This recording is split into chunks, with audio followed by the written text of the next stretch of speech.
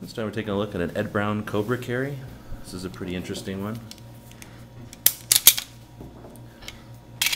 Made by Ed Brown.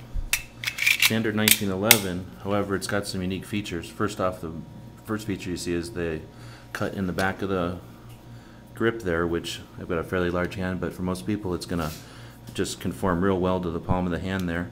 Gives you a real comfortable grip. Uh, not so much abuse back here if you shoot it quite a bit.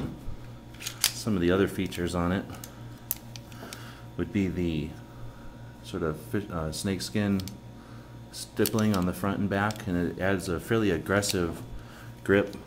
Same with the serrations on the slide. Not so much grip this way, but plenty going backwards. It's definitely not an inexpensive pistol, but if you're looking for these kind of custom features, this one definitely packs them in there. 45 ACP,